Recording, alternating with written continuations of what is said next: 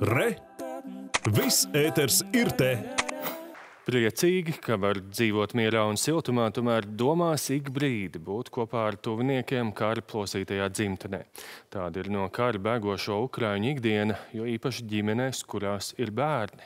Gatavojoties labdarības maratonam dod pieci uz bijušo pansionātu Rembetes pagastā, kur pat labāk dzīvo vairākas ukraiņu ģimenes, devās Latvijas radio žurnāliste Skirmanta Balčūta.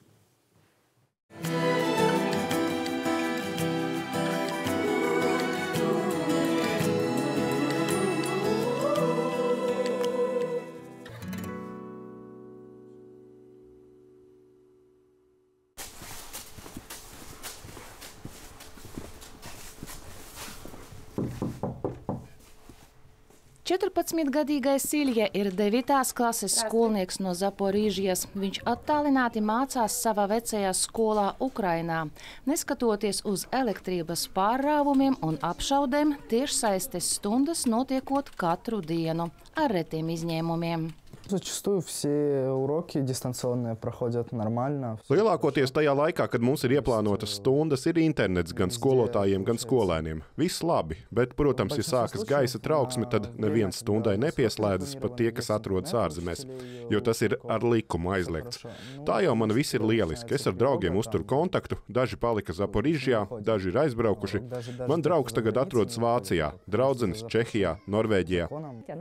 Portatīvo datoru pusaudzi draugu mums dāvināja viņa tēva draugs Latvietis. Jautāts par to, kā vēl viņam pašlaik trūkst bēgļa gaitās, puisis tikai noraidoši krata galvu. Viņam pilnībā pietiekot ar datoru un internetu.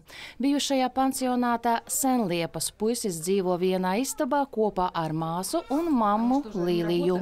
Viņa saka, ka visvairāk esot nepieciešams apģērbs. Bērniem постоянно что-то нужно. У меня девочка, которая 6 лет. Bērniem visu laiku kaut ko vajag. Man ir sešgadīga meitene un puisis pusaudzis. Viņi ļoti ātri aug.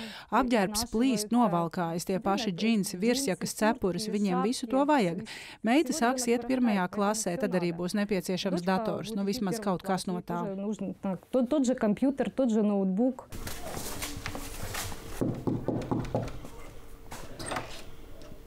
Jūlija pansionāta istabiņā dzīvo ar savu mazo meitiņu. Ksenijai ir tikai gads un trīs mēneši. Meitene faktiski uzauga Latvijā, šeit sāka staigāt un pateica savu pirmo vārdu. Senliepās ģimene dzīvo jau deviņus mēnešus. Mm -hmm. Спасибо. Vasarā un rudenī sievietes pašas lasīja ogas un ābolus un taisīja bērniem biezenīšus, bet ziemā Kseniju nākas piebarot ar biezenīšiem no tūbiņām, bet ejošāka prece esot pamperi. Памперсы, конечно. Одежда, nu, пока есть. Protams, ka pamperi. Apģērbs it kā pagaidām ir. Meita aug, protams, bet pagaidām pietiek. Viņa vēl ēd mātes pienu, un viņai arī garšo saldi augļu biezenīši, kurus mēs paši arī gatavojām. To visu viņa arī ēd.